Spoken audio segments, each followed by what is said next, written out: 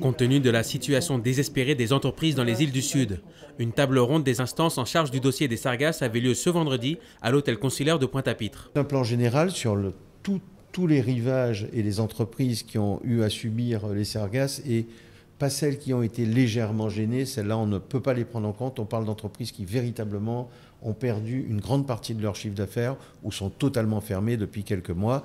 Et bien sûr, assurer à ces chefs d'entreprise que dans l'avenir, il y aura des dispositifs qui font qu'ils ne vont pas se retrouver l'année prochaine dans la même situation.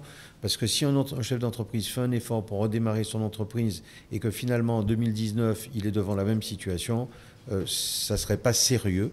Donc euh, l'État euh, prend des engagements pour que euh, visiblement à partir de 2019, c'est-à-dire pour la prochaine saison Sargasse, si vous me permettez ce terme, que des dispositifs puissent permettre d'une part de, faire que ces sargasses n'arrivent pas sur les côtes, donc avec des, des, barrières flottantes, les dévier, et pour celles qui auraient quand même réussi à arriver, que dans les 48 heures, elles soient évacuer euh, des zones euh, où il y a des entreprises.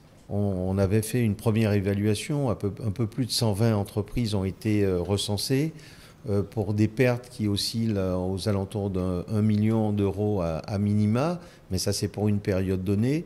Donc avec ces entreprises, nous voulons voir, un, comment ils peuvent redémarrer, c'est-à-dire réouvrir leur exploitation. Beaucoup de ces entreprises sont complètement fermées, il n'y a plus d'activité.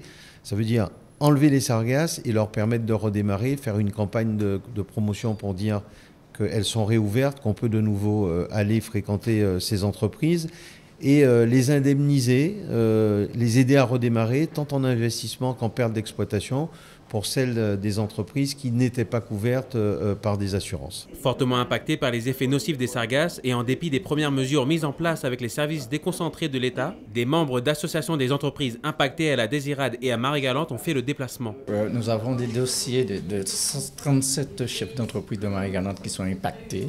C'est aujourd'hui la première fois qu'on a pu déposer les dossiers.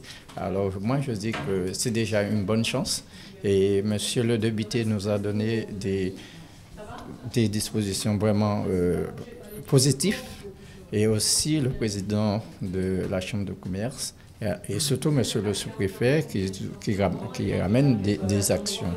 Alors maintenant, euh, on va voir, on va voir avec euh, l'ensemble des membres de l'association surtout pour la commune de Cabester, qui est vraiment impactée, euh, comme je dis, qui est vraiment euh, ville, euh, comme une morte.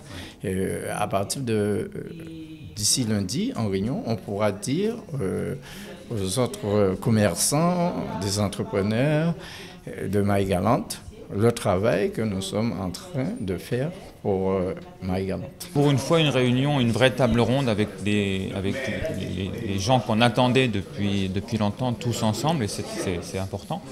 On avait monsieur le, monsieur le sous-préfet, monsieur le député Serva, monsieur le président de la, Chambre de commerce, monsieur Houdin aussi de la DIEC. Donc c'est vrai qu'on a enfin pu parler sereinement de tout ce qui nous pose problème. Euh, on a eu des réponses concrètes, on a eu des avancées, des informations intéressantes. Ça ne réglera pas nos problèmes de suite, parce que notre problème principal, euh, notamment au niveau des acteurs économiques, moi je suis restaurateur, c'est de pouvoir passer l'été, euh, d'arriver jusqu'à la saison prochaine, parce qu'on n'est pas certain d'avoir beaucoup de monde cet été.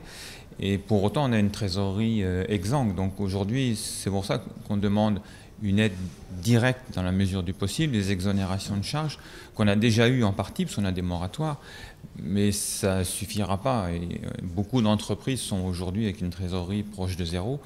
Et euh, pour redémarrer une activité, d'autant plus qu'il y a très peu de fréquentation touristique, les gens n'osent pas encore revenir sur Capester ça fait une double peine, donc c'est très compliqué à gérer. L'objectif de cette rencontre était de faire un état des lieux, réfléchir sur des solutions rapides et dresser un plan d'accompagnement à court terme qu'il pourrait mettre en place dès la fin du mois d'août. Le financement est en train d'être bouclé, euh, la prise en charge va être aux alentours de 30% des montants perdus, bien sûr il y aura un plafond. Tout ça n'est pas complètement bouclé, mais ce dont je peux vous assurer aujourd'hui, c'est que les entreprises euh, qui ont vraiment subi et qui sont fermées, et qui n'ont plus de chiffre d'affaires, vous aurez autour de l'État, de la région et de la Chambre de commerce un dispositif qui sera mis en place pour les aider à redémarrer, les conseiller pour avoir la, la, meilleure redémarrage, aussi bien pour payer des dettes qu'elles auraient pu avoir durant cette période de fermeture, que des solutions d'accompagnement au redémarrage des activités pour ces entreprises qui finalement euh, n'ont pas eu de chance parce qu'elles ont eu des échoisses de sargasses, mais elles sont responsables en rien de leur échec.